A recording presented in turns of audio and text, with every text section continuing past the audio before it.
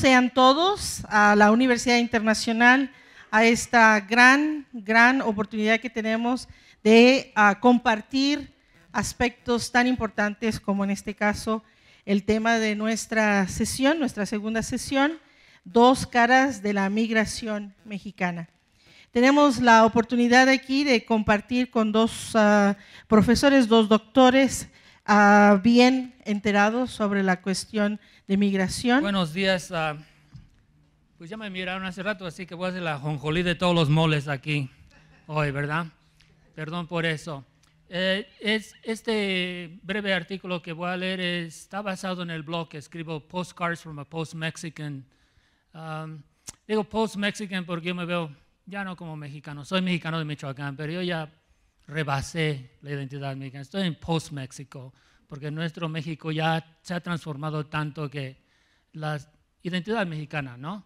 Misma, cambia, ha cambiado. Entonces, es lo, como escribo mi blog en inglés, lo dejé en inglés, lo iba a traducir, pero este, tenía muchas otras cosas que organizar y no me dio tiempo. Pero es un inglés bastante fácil de, de, de entender.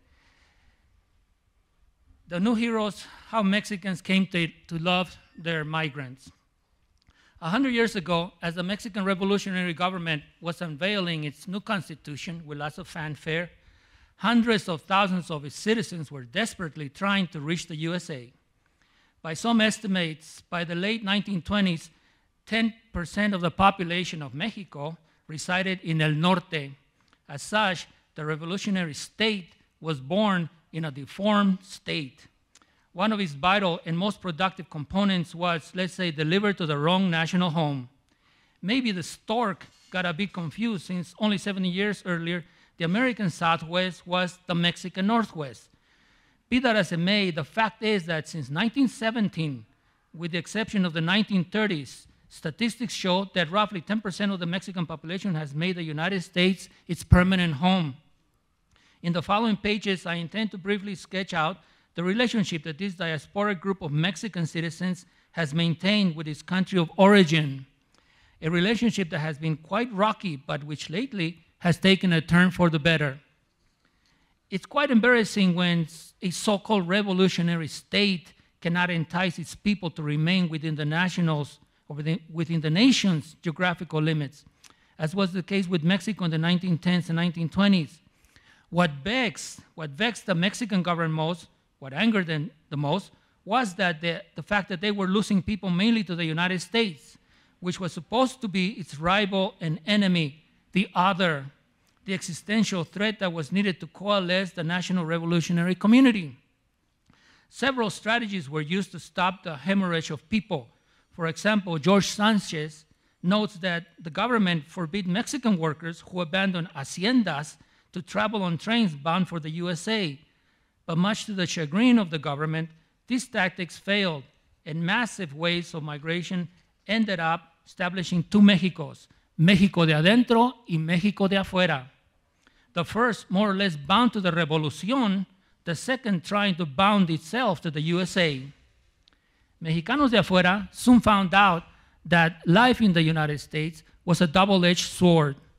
On the one hand, the system allowed them to create prosperous communities throughout the country, from New York to California, that were vital to the American economy. On the other hand, when the Great Depression hit, Americans were quick to blame the Mexican nationals for the economic downturn, and thus began an episode that has been kept out of the national history books the deportation of perhaps as many as 1 million Mexicans, immigrants, during the 1930s which Francisco Valderrama and Raymond Rodriguez have called the decade of betrayal. Many of these deported immigrants had made the US their home since the early years of the 20th century. They had married and formed families, raising their American born children within the country. But during the Great Depression, politicians and nativist groups unjustly blamed them for the lack of jobs and presumed that they were taking advantage of welfare aid. American workers were led to believe that if Mexicans left the country, the effects of the economic depression would, would diminish. An argument that even in today's turbulent times continues to have currency in the United States. The repatriation of the Mexican communities was one of the largest deportations of people in the 20th century. By train, boat, car, on horse, and even on foot, Mexicans were everywhere in the US repatriated. Those who resisted found themselves constantly being harassed until they willingly decided to leave the US and return to Mexico along with their American children whose constitutional rights were ignored, violated, or simply forgotten. Who cared?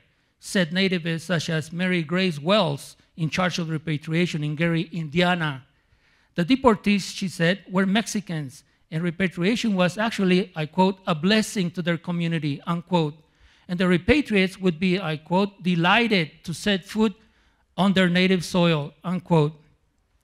The deportees returned to a country not only hit by the same economic depression as its northern neighbor, it was also trying to recover from the devastation of a recent revolution.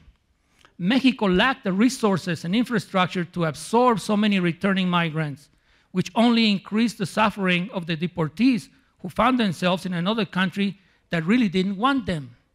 Moreover, social difficulties arose because in their long absence, these migrants had lost cultural and political connection to their communities of origin.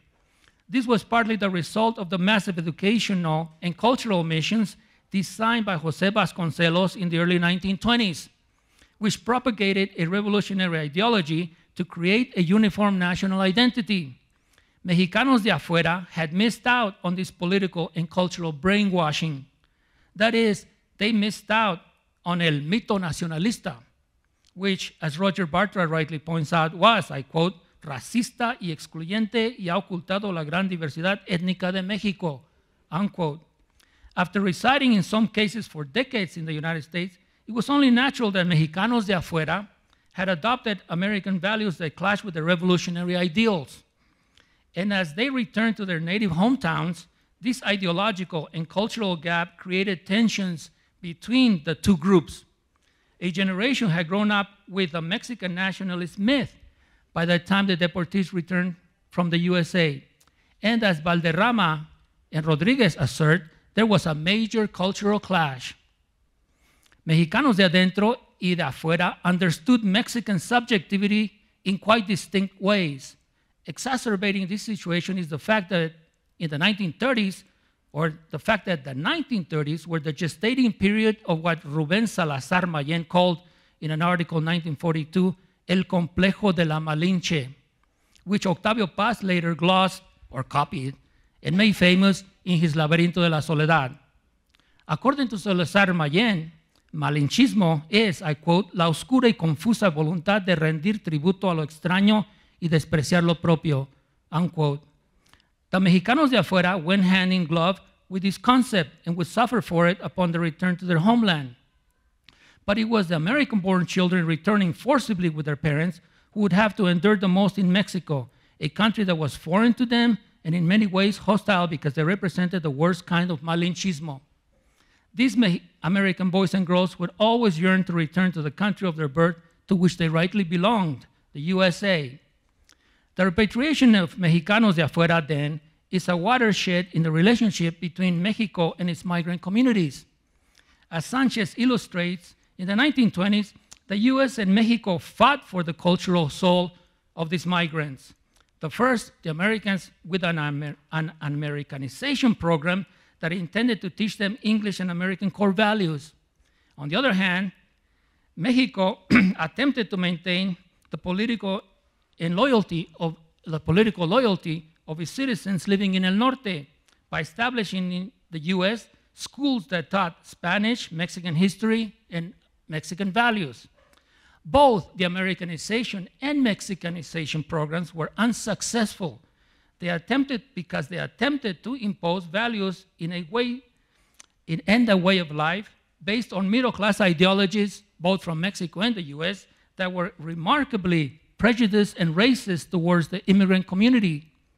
However, by the end of the Depression, the Mexican enclaves like, in cities like Los Angeles, California, a new ethnicity took shape as the Mexican born migrant population was decimated and its American born children assumed leadership positions in their communities, formerly held by their parents. In this capacity, they began to demand their constitutional rights, that is, the children, which will become the Chicanos, will become to demand their constitutional rights and staved off further deportation. They became Americans on their own terms, emphasizing um, their Americanness, but at the same time hanging on to their cultural, Mexican cultural heritage.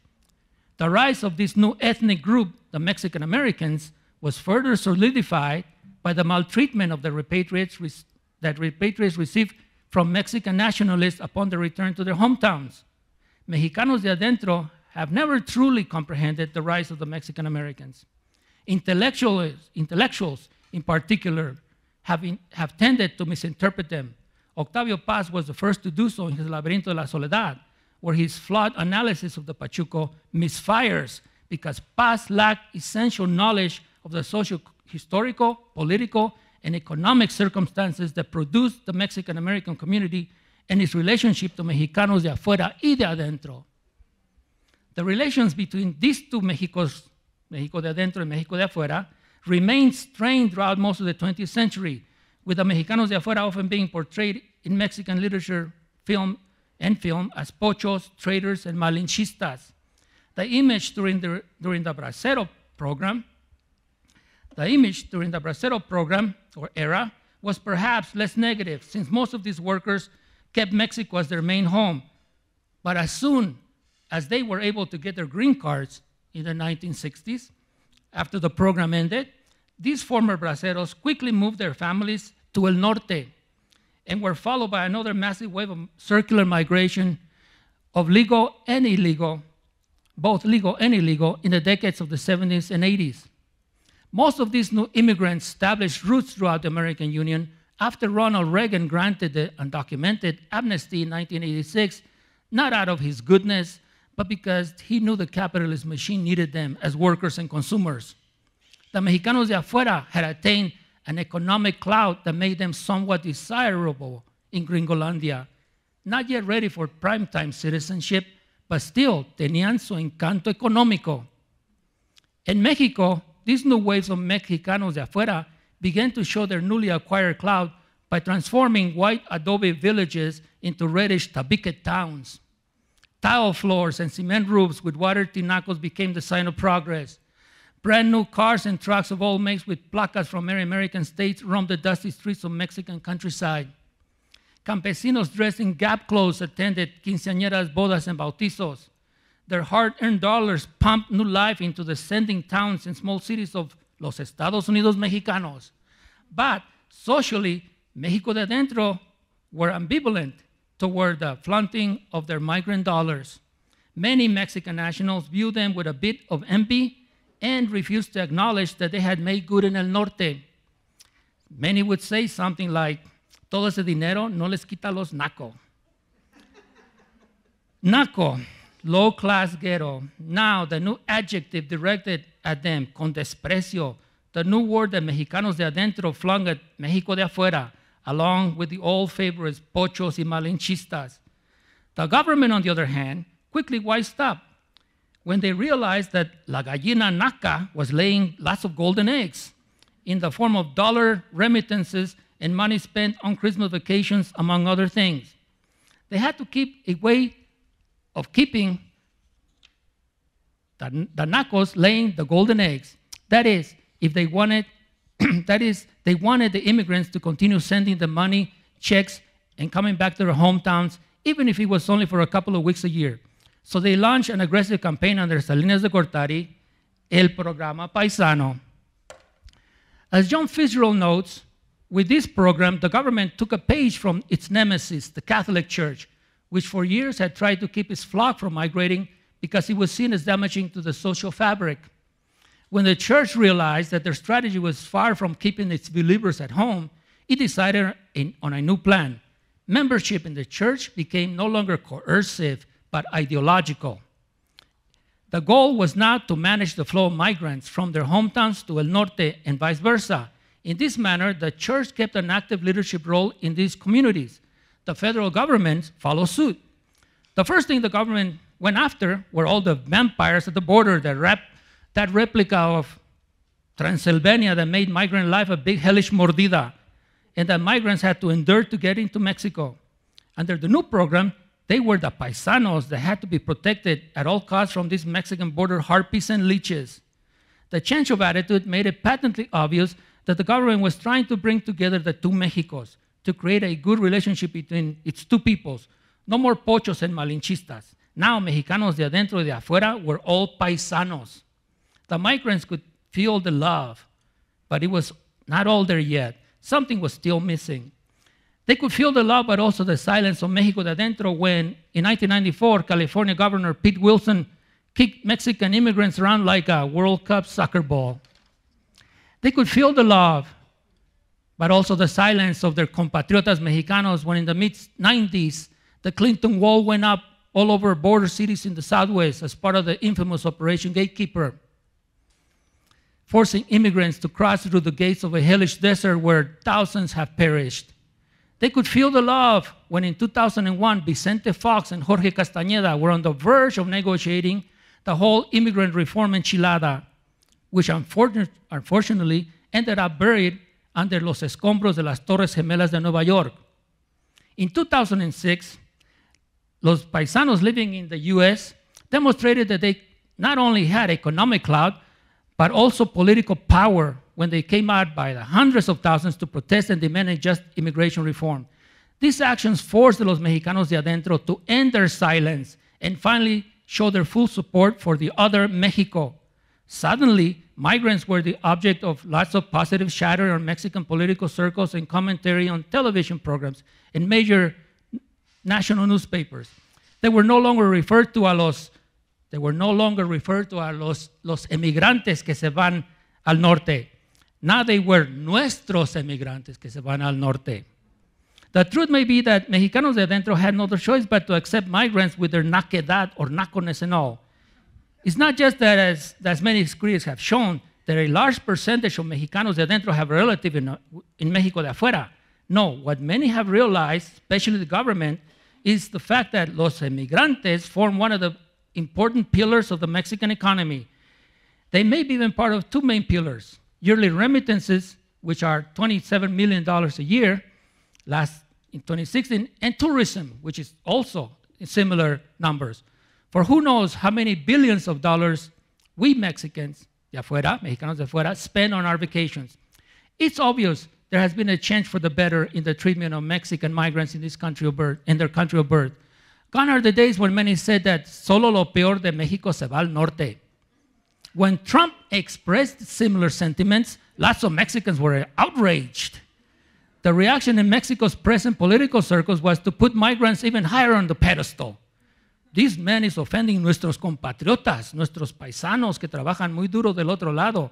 We must unify behind our immigrantes and protect them from los gringos racistas, they said. Yes, the Mexicanos de afuera are now the darlings of the press and of the fake politicos of Mexico. We're hailed everywhere as heroes of la madre patria. Están de moda, trendy, the flavor of the month. But I got a feeling, I got a feeling this hero worship is due more to the fact that Trump is threatening the pillars of the Mexican economy that they represent. That Tasmanian orange devils immigration policies might kill la gallina que pone los huevos de oro. And the Mexican government is somewhat scared and doesn't know how to counter the move. For now, they have only resorted to having Peña Nieto welcome the repatriates at the airport. Bienvenidos a su casa, he says. Here you'll find lots of spaces for opportunities. But we know this is all a political show. Termino. So today, Mexicanos de afuera are definitely on the hero pedestal. Long past are the days when they were accused of being pochos, traidores y malinchistas. As Carlos Monsiváis notes, I quote, hoy el calificativo malinchista es eco lejano de los requerimientos de formación de nacionalidad en la etapa en que los símbolos eran lenguaje primordial. Moreover, final de cita, moreover, as Nestor Garcia Canclini demonstrates, Mexicans living on both sides of the border are today linked more by their consuming patterns, that is, their consuming of American goods, than with a nationalist historical patrimony and traditional popular culture. Yes, Mexico de Dentro Central, with its migrants, which is celebrated on December 18, El Día del Migrante, they are extremely vital to the economy, and soon there will be statues of them everywhere.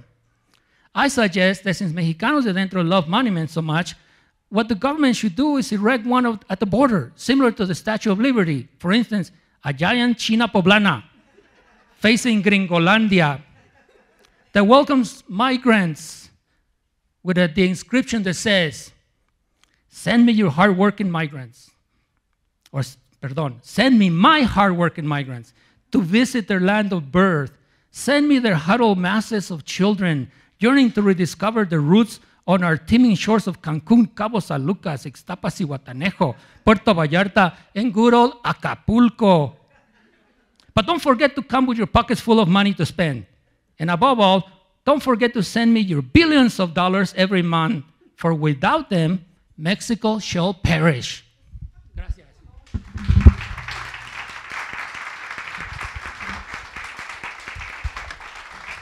Buenos días y bueno, vamos a pasar de un tono irónico, cómico de Álvaro, mi querido amigo Álvaro, a un tono mucho más severo, mucho más serio conmigo.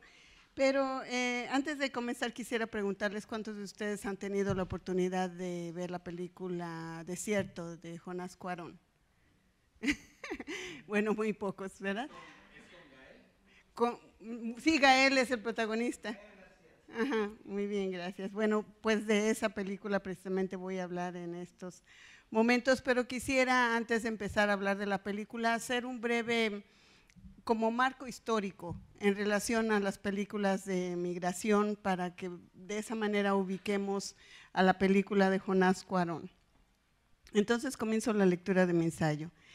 En el devenir histórico del cine mexicano, la migración hacia los Estados Unidos ha sido un tema recurrente y ha proliferado sobre todo en las últimas décadas.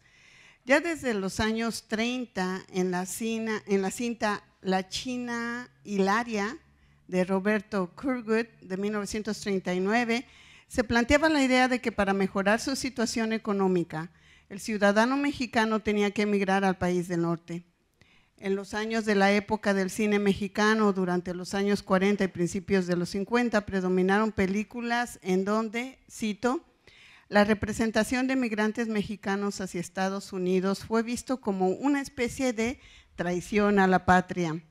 Eh, los eh, malinchistas y los pochos y todos esos que, de que hablaba eh, Álvaro, ¿verdad? Se les llamaba despectivamente pochos desde un nacionalismo anacrónico donde la mexicanidad se vinculaba al estereotipo del charro, al machismo como valor eterno o a la comicidad que evitaba cualquier crítica a las instituciones nacionales. El tema de la migración era llevado al ámbito incontaminado y patriarcal de la comedia ranchera o al melodramático del arrabal citadino. Ejemplos de este enfoque son Guadalajara, pues, Pito Pérez se va de bracero, yo también soy de Jalisco, primero soy mexicano, soy mexicano de acá, de este lado, em, fin de cita. Además, en los, en los filmes antes referidos se vislumbraba un conflicto identitario que el emigrado sufría en ese proceso del cruce de fronteras em, culturales, eh, geográficas y lingüísticas, ¿verdad?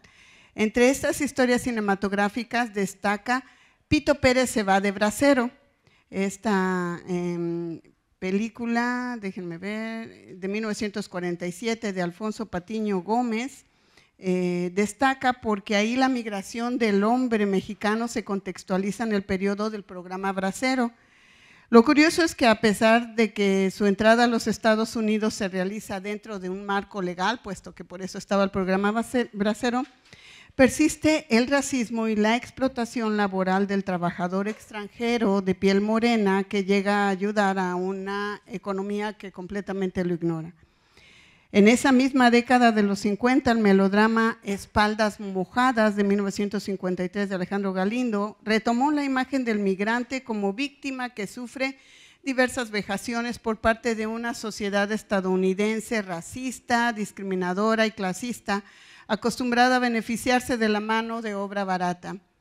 En contraste con la denuncia hecha en el filme de Galindo, el director Rafael Valedón exploró dicho tema por medio de la comedia El bracero del año en 1963.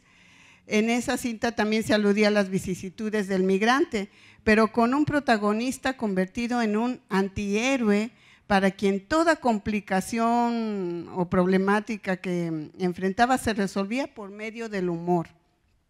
Era el em, Piporro, no sé si lo recuerdan, el protagonista. Una idea similar fue presentada por María Elena Velasco. Eh, ¿Recuerdan ustedes el nombre de María Elena Velasco?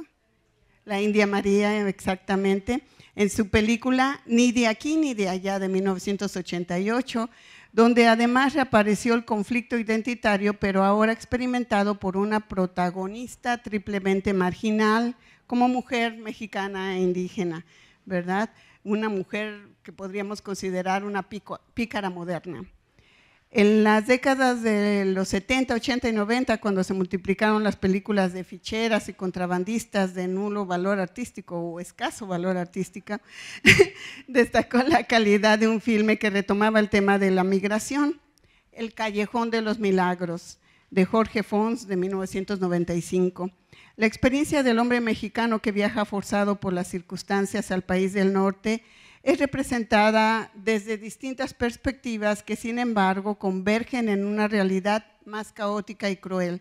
El futuro del inmigrante se complejiza, puesto que regresa a México como un triunfador económicamente hablando, claro, eh, que por lo tanto sube en la escala social después de haber soportado largas jornadas de trabajo en el país del norte, pero que es asesinado por intentar recuperar el amor de su vida. ¿Verdad? La idea del destino trágico en estos melodramas mexicanas, perdón, mexicanos explotados mundialmente. Aquí también tenemos influencia del cine latinoamericano. En fin, en las últimas décadas se ha estrenado, estrenado una plétora de filmes mexicanos sobre los migrantes con enfoques igualmente diversos. Ya no se trata solo de denunciar el maltrato y explotación que los inmigrantes sufren, sino de presentar el entramado económico, político y social que generan los desplazamientos geográficos de los ciudadanos mexicanos y centroamericanos, porque antes había un énfasis en el inmigrante mexicano y todas las vicisitudes que pasaba al cruzar la frontera estadounidense, pero los centroamericanos no existían, ¿verdad? Y sin embargo, en las últimas décadas se ha hecho más énfasis en este otro aspecto de la migración, la centroamericana así como las repercusiones que impactan la vida de los que se quedan en su país de origen. Además de incluir la violencia de género en sus historias fílmicas, los cineastas están experimentando con diferentes estrategias postmodernas como, cito, la combinación de recursos narrativos del drama y la comedia. Fin de cita. Así se pueden mencionar títulos como los siguientes. Esta es una lista eh, muy reducida, pero que les da una idea de, lo que estoy analizando. Son El viaje de Teo del 2008, Al otro lado del 2009, Espiral del 2010, Abel del 2010 con eh, el director Diego Luna, eh, El infierno del 2010 de Luis Estrada y Siete Soles del 2008 de Pedro Olteras, entre otros. Aquí me he referido únicamente a, los, eh, eh, a, los, a, las cintas mexicanas, pero obviamente que podemos hablar de diferente cine hollywoodense que ha tocado también el tema de la migración. Eh, podemos hablar también de Babel, por ejemplo, que mucha gente ha comparado de alguna manera esta actuación de Gael García Bernal en el filme de Jonás Cuarón con esa actuación que hizo en Babel precisamente y otros filmes hollywoodenses que sin embargo no, no me estoy enfocando en este ensayo. Aquí ya entro de lleno con lo que es Desierto. Lo que distingue a Desierto, estrenado en 2016 de Jonás Cuarón, de la larga lista de cintas anteriormente referidas, puede resumirse de la siguiente manera. Y otra vez, el resumen que hago realmente es una condensación de ideas, ¿verdad? La historia proyectada en la pantalla es un thriller que se aleja del melodrama, la comedia ranchera, la comedia o el género híbrido usado en las películas de las últimas décadas. Es un filme que realmente desde que ustedes empiezan a observarlo, eh, impacta, impactan las imágenes y el suspenso dura a lo largo de la cinta y realmente atrapa, sacude al espectador. Eso es lo que lo distingue eh, desde mi punto de vista a este filme de los anteriores, eh, ya mencionados. Y también este filme se estrena y publicita en un contexto político caracterizado por el predominio del discurso anti-inmigrante sobre todo anti-mexicano en los Estados Unidos. Ya sabemos, bueno, cuando me refiero al anti-mexicano, sabemos que generalmente para el discurso político en Estados Unidos los em, mexicanos somos todos los hispanos, incluyendo a los centroamericanos y todos, ¿verdad? Entonces, eh, cabe mencionar que este discurso anti-migrante tomó mayor, em, mucho mayor predominio ahora que que el candidato Trump, ahora presidente Trump, estuvo haciendo esas declaraciones tan fuertes en contra de los mexicanos, que obviamente a los mexicanos que trabajamos allá, pues sí nos eh, sacudió, nos impactó de diferentes maneras. Bueno, em, aparte de ese contexto, ah, y, y, antes de pasar al otro punto es de que recordemos también de que Em, Gael García y Jonás Cuarón han sido entrevistados en diferentes, en diferentes este, medios electrónicos, escritos, y han comentado cómo en la recepción de su filme tuvieron diferentes eh, actitudes de los espectadores. Hubo quienes apoyaron precisamente la idea, el mensaje que estaba trabajando o presentando, y hubo quienes dentro de las mismas eh, salas de cine se manifestaron a favor del el vigilante que asesina a los migrantes, diciendo, eso es lo que debemos hacer en nuestro país para acabar con todos los inmigrantes, ¿verdad? Entonces fue una participación del espectador muy fuerte al transmitirse esta película en los cines en Estados Unidos.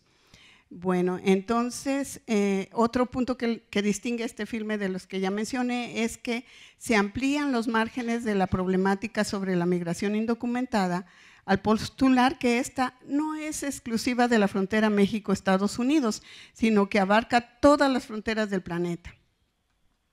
D. Se denuncia de manera directa la violación de los derechos humanos de los migrantes por parte de los grupos vigilantes que operan en Estados Unidos al margen de la ley. Muchos de estos vigilantes son parte de los rancheros que tienen grandes propiedades de tierra a lo largo de la frontera y que creen que tienen completamente el, poder, la libertad para asesinar a todo aquel invasor de su tierra, ¿verdad? Em, tenemos también eh, el punto donde se señala que las razones por las cuales emigran los ciudadanos de un país determinado no son solo económicas, o sea, se complejiza esa idea, ¿verdad? Eh, otro punto es que se representa al, inmigrante ya no como una víctima pasiva, como lo habíamos visto en la mayoría de los filmes, sobre todo de las décadas 30, 40, 50, sino como un héroe capaz de vencer la irracionalidad motivada por el racismo de los vigilantes o Minutemen, em, herederos de la ideología defendida por los Estados Confederados que perdieron la guerra de secesión de 1861 a 1865 en los Estados Unidos. Eh, el punto G, la perspectiva desde la cual se presenta la historia fílmica es dual, puesto que no solo se narra la experiencia del migrante, sino también el sentir de su victimario. Em, y lo, lo, impactante es la elevación a héroe del migrante también en esta película, ¿verdad? Bueno, en Desierto, por consiguiente, subyace una denuncia en contra de la violencia y deshumanización sufrida por los inmigrantes que cruzan la frontera de México sin documentos legales. Los personajes que son perseguidos y cazados como conejos en el universo simbólico de este filme mexicano son víctimas del racismo de un vigilante quien se erige como salvaguarda del espacio geográfico estadounidense. La violencia como azote de la humanidad se proyecta con un realismo impactante a lo largo del filme. No es solo la división geográfica ni la política, sino la brutalidad de un personaje siniestro que lleva las marcas de una sociedad estadounidense perdida en su mesianismo inventado. La naturaleza del desierto es otra de las recreaciones que sirven para enfatizar este arte fílmico contestatario en el cual el instinto de supervivencia del migrante supera el exacerbado odio del vigilante quien representa a un amplio sector de la sociedad estadounidense. Ya sabemos que el apoyo a Trump no ha bajado de los 40%, precisamente por ese sentimiento tan exacerbado eh, racista que hay, ¿verdad? Es decir, el mensaje de denuncia de esta cinta se transmite a través de una secuencia de imágenes de violencia, pavor y desesperación que muestran un desafío para el migrante mucho más grande que el desierto. El odio racial que lleva al hombre blanco a convertirse en una bestia sanguinaria e irracional. Como lo señala el mismo Jonás Cuarón, el uso del suspenso le permitió hacer que esta historia fílmica no solo entretuviera, sino que principalmente involucrara y sacudiera al espectador, forzándolo a tomar una posición política en relación a las circunstancias sociales del migrante. Y esto es lo que comenta Jonás Cuarón en una entrevista. Cito, la razón por la cual hice esta película es porque yo he vivido en los Estados Unidos en los últimos 15 años y he visto que este fenómeno comenzó con las leyes anti-inmigrantes y toda esa retórica en contra de los inmigrantes, los extranjeros, los otros. En ese sentido, este es un relato que advierte dónde puede terminar nuestra sociedad si seguimos promoviendo todo este odio. Parcialmente yo quería narrar esta historia a través de este género porque me quería conectar con la audiencia de una manera visceral y no intelectual. Quise hacerlo así porque sentía que este tema no es algo debatible. Ahora vivimos en un tiempo donde todo es debatible. Sin embargo, existen ciertas acciones como aquellas cometidas por Sam en esta película, su odio, que de ninguna manera pueden ser algo debatible. Fin de cita. La participación del espectador, de acuerdo a estas palabras dichas por Cuarón, es vital para que la crítica política y social que se postula en su cinta cumpla su cometido Dicho involucramiento del espectador se lleva a cabo por medio de estas perturbadoras imágenes con un alto contenido simbólico que se suceden una tras otra con la misma intensidad.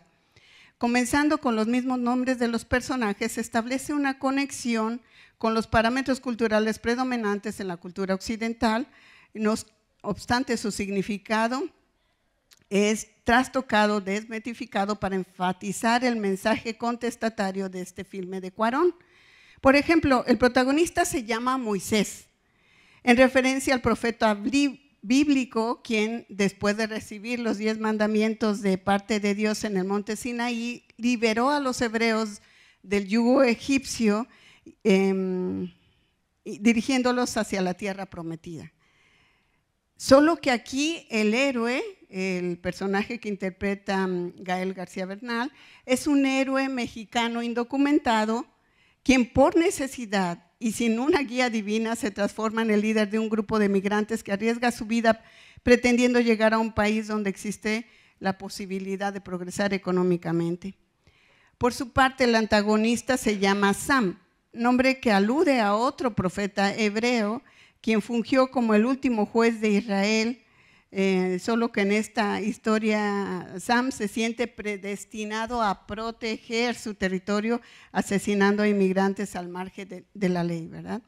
Lo interesante de esta propuesta crítica elaborada por Cuarón es que puntualiza la violencia genérica que hace de la experiencia femenina una aún más vulnerable y peligrosa que la de sus contrapartes masculinas, puesto que las mujeres están expuestas no solo a las agresiones producto del racismo y xenofobia, sino también a aquellas de tipo sexual, ¿verdad? El único personaje femenino representado en esta película, eh, bueno, hay otra mujer que es asesinada cuando va corriendo, pero que realmente no tiene, sí, un momento, eh, mucha participación.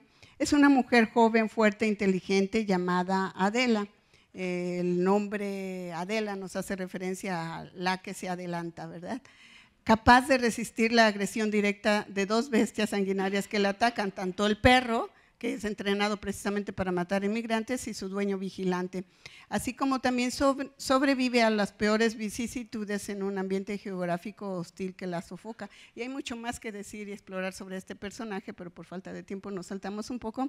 Entonces, eh, concluyo con la fuerza del medio ambiente, el desierto, queda en la mente del espectador en la frase con la que se fulmina o se engloba la la brutalidad de este gringo, para utilizar las palabras de Álvaro, de este gringo vigilante, Y el, el protagonista al final dice que te mate el desierto.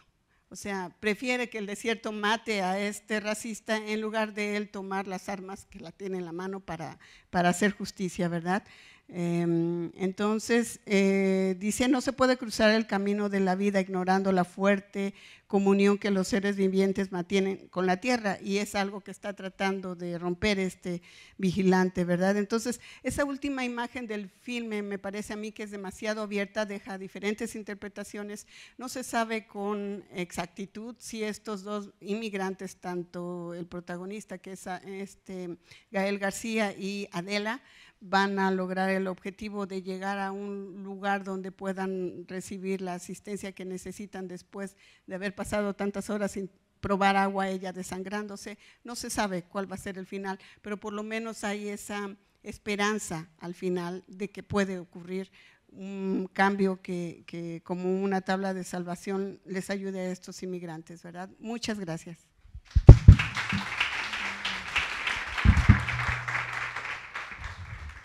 Muchas gracias. Tenemos dos minutos para preguntas, ah, si alguien tiene alguna pregunta. ¿No?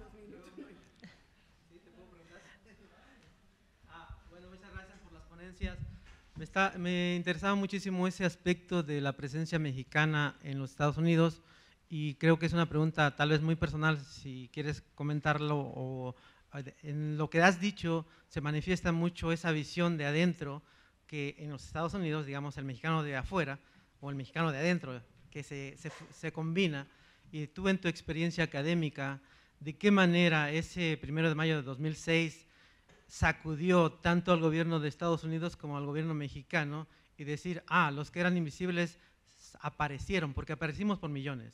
Entonces es muy importante, tú como profesor mexicano o profesor mexicoamericano o americano, eh, de qué manera eso sacudió pero ahora vivimos otra vez una invisibilización con este racista en el poder.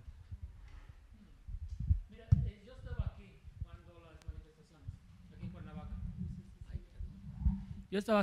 En, Cuernavaca cuando las manifestaciones en el 2006 y vi más la reacción aquí, cómo reaccionó el gobierno y la gente, ¿no? que, y, y más que nada leí, leí, periódicos, miré los reportajes en la televisión, los politólogos de repente empezaron a hablar mucho más eh, en defensa de los migrantes, ¿verdad?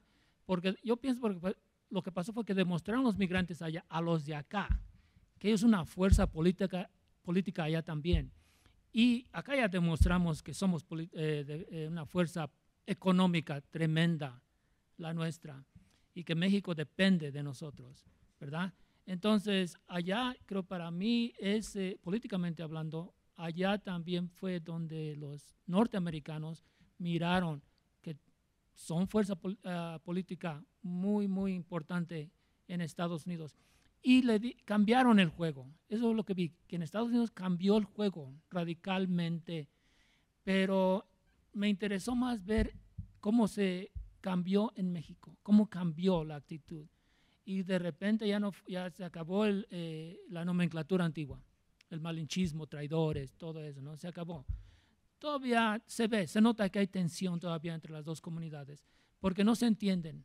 Los de México no entienden a la comunidad que vive en Estados Unidos, los mexicanos de afuera, y los mexicanos de afuera también han dejado de entender hasta cierto punto los mexicanos de adentro, porque hay una desconexión. Y, es, y, se ve, ¿verdad? Por ejemplo, no se dan cuenta los de aquí, a mí, a ti, cualquiera que viva en Estados Unidos lo ven como México americano y creen que nos que cambiamos radicalmente, que ya no somos lo que éramos antes. Exacto. Pero sí cambiamos, pero no como para decir que ya no somos, ¿verdad? Mexicanos. Y en Estados Unidos también no conocen a México ya porque México ido cambiando muchísimo, muchísimo, especialmente los últimos 20 años que yo llamo que creció el NAFTA Generation en México, que crecieron con el MTV, que crecieron mirando eh, las películas Desafortunadamente, mi amiga Lupita no lo menciona, pero en México esta película de Cuarón la ve muy poca gente, muy, muy poca gente. Y bueno, menos que en Estados Unidos, yo creo. ¿Ok? Entonces, ¿qué ven? Spider-Man. Los, ahorita está Spider-Man, está no sé qué otro, otro día fui y no se encuentra casi nada mexicano, cine mexicano, ¿verdad? Eso es lo que decía, más para terminar, este, Demetrio, que, ¿verdad? El México de aquí es diferente, muy diferente. Y no quiero decir que, no, que queremos ser folcloristas y andar de charros de China poblana y todo lo demás. No, simplemente la sociedad ha cambiado muchísimo. Como cualquier sociedad, que llega a tener contacto con otra cultura o culturas y cambia. Pero en, en Estados Unidos los mexicanos de afuera aún piensan que somos los nacionalistas, los folclóricos, y ya eso se está quedando muy atrás. Y cuando llegan aquí, está ese choque, ese choque de culturas. No igual como cuando eh, deportaron a los mexicanos en los 30, no es el mismo choque, o es diferente. El choque es para los mexicanos que vienen de California, de Chicago, de Nueva York, y ven aquí a los malinchistas en México, según el término antiguo, ¿no? Aquí se llenó de malinchistas. Todos somos malinchistas, por eso ya no existe el malinchismo.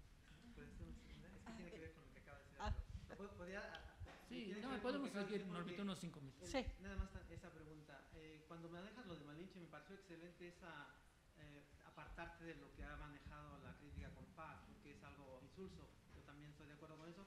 Y referencia a lo de la mujer que se ve en, el desierto, ¿de qué manera uh, A Beautiful Life, con, a través de Mian Bichir, y ahora eh, esta película de desierto, ¿de qué manera ese cambio de la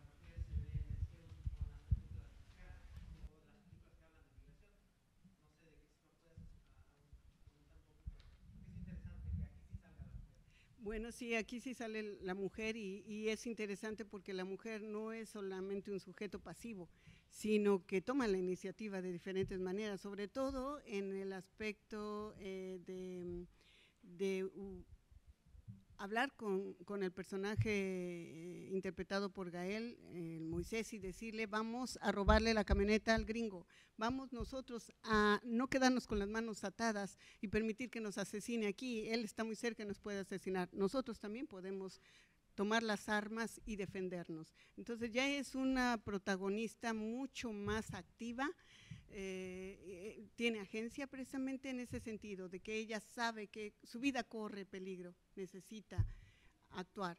El único problema, el único inconveniente es que me parece también que todavía le falta desarrollar, desarrollo, eh, un desarrollo más feminista a, este a esta protagonista, porque la vemos que otra vez vuelve a ser ella la herida, vuelve a ser ella la cargada, o sea, sucumbe ¿verdad? Por su fuerza física, por lo que sea. Claro, el protagonista eh, Moisés la ayuda, es muy benévolo, pero otra vez sigue siendo ella la víctima, ¿verdad? Ella es la herida y se queda ahí al último sin participar para ser rescatada otra vez, otra vez la mujer siempre rescatada. Entonces es esa ambivalencia que noto, ¿no? Es eh, de alguna manera subversiva, pero otra vez vuelve a ser pasiva al final por esta actitud. Gracias.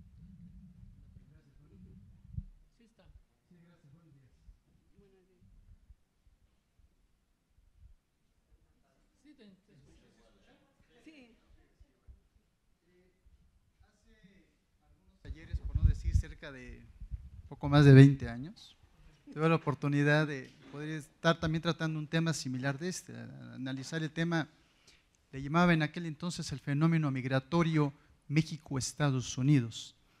Y me parece que en la reflexión que de aquel entonces te traigo a la memoria, todavía la tengo, este, refería a la, la investigadora precisamente del Instituto de la Frontera Norte, y, y, que refería, hay una condición que me parece, me parece, es que el, mexicano, ya sea el de afuera o el de adentro, tiene lamentablemente una condición que aceptar, es aceptar una forma de vida, incluso de sumisión, de, vejación, a costa de, un sueño americano. Voy a traer a, este momento porque en la materia que yo manejo, hablando del tema precisamente del tema de la migración, hay una canción de los Tigres del Norte se llama América.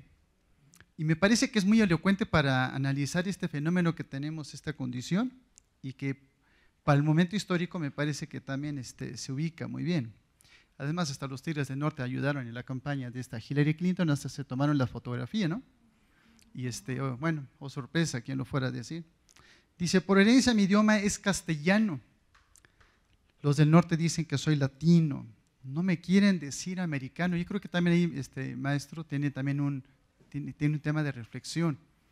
Este, ¿Qué condición tiene el mexicano? Es, ¿Qué posición asume? Ahí se lo dejaría para su reflexión. Y dice, no me quieren decir americano.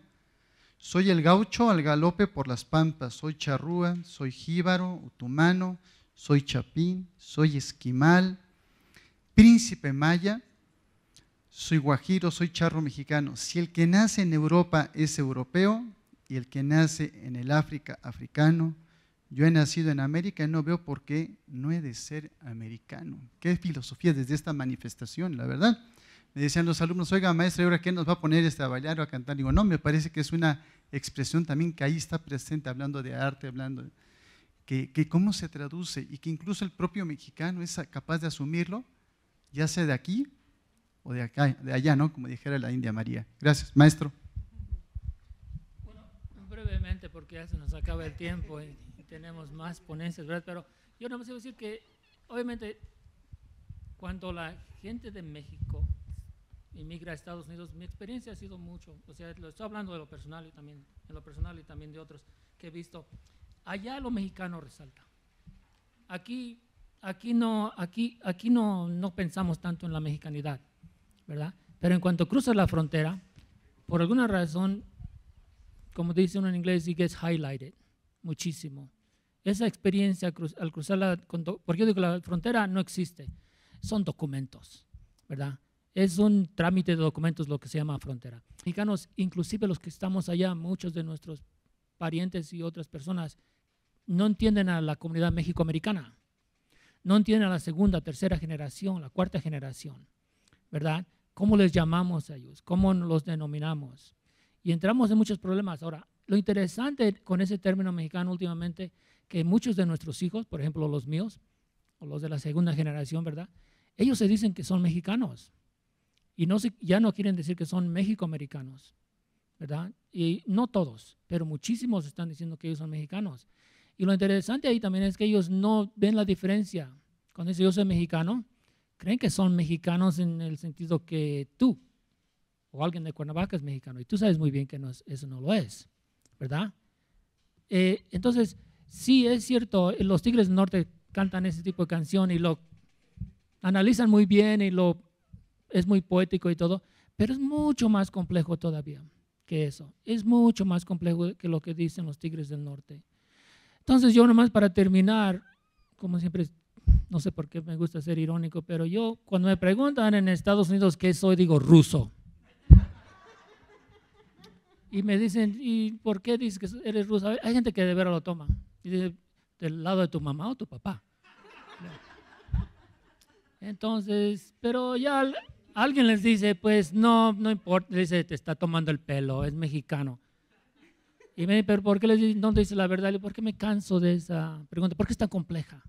¿Verdad? Porque al entrar en decir soy mexicano, abro una puerta tremenda para explicar lo que es ser mexicano en Estados Unidos. En México es menos complejo, aunque lo es, lo escondemos detrás del mestizaje. Lo escondemos detrás de ese mestizaje.